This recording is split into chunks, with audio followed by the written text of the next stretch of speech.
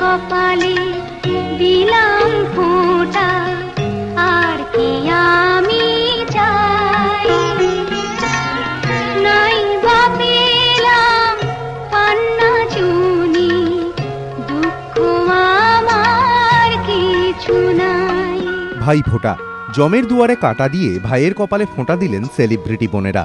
দুজনেই সেলিব্রিটি বিশেষ দিনটিতে কখনো ভাই ব্যস্ত, আবার কখনো বোন, কখনো বা দুজনেই। যার ফলে পাঁচ বছর ভাই প্রসেনজিৎ চট্টোপাধ্যায়ের কপালে ফোঁটা দিতে পারেননি বোন পল্লবী। এবার প্রতি পদেই এলো সুযোগটা।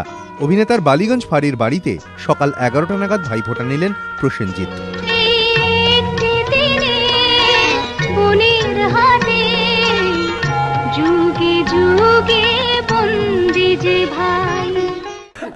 শর্মিলু আমাকে দিয়েছে সকালবেলা গিফট মাকে দিয়েছে। আমার আর এক বোন টুকি, ও দিয়েছে প্রচুর সকালবেলা গিফট পেয়েছি। এটা সব থেকে আনন্দের। সকালবেলা এরকম গিফট পাওয়া, এটা সব থেকে ইম্পর্টেন্ট ছোটবেলায় মানে আমরা বসে ওই বললাম যে যখনই আমাদের ঝগড়া হতো বা আমি যখন রিভেঞ্জ নেওয়ার জন্য তখন। কিন্তু সবসময় একদম মানে মনে হতো একটা স্পেশাল ডে এটা হচ্ছে মানে ভাইদের জন্য, দাদাদের জন্য। তো সেই অনুষ্ঠান মানে আগে থেকে সব প্যাকেট প্যাকেট করে মা রেখে দিত তো কি দেওয়া হচ্ছে? আর আমার সবসময় মনে হতো যে বোন ফোটা হয় না কেন? একটাই প্রশ্ন হতো, ভাই ফোটা হচ্ছে, রাখি হচ্ছে, কিন্তু বোনেদের কেন হচ্ছে না? শুধু বোন পল্লবী নন, প্রসেনজিতের কপালে ফোঁটা দিয়ে জমদুয়ারে কাঁটা দিলেন কেশ বিশেষজ্ঞ শর্মিলা সিংহ ফ্লোরা সহ অন্যান্যরাও।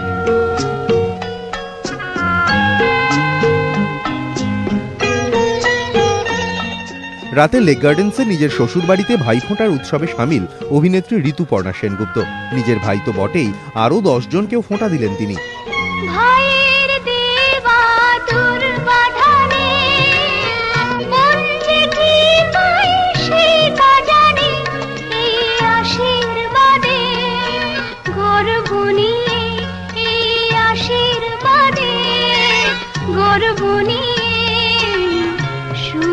যে হয় সবাই এই দিনটাতে আমার সঙ্গে যে এই সান্নিধ্যটা পাই এটা আমি কোনোদিন আমিও এই এই সান্নিধ্য থেকে বঞ্চিত হতে চাই না।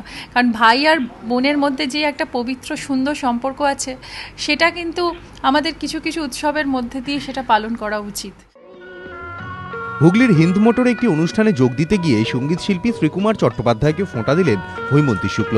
মনোজিৎ সরকার ও সৌরভ বন্দ্যোপাধ্যায় এবিপি আনন্দ।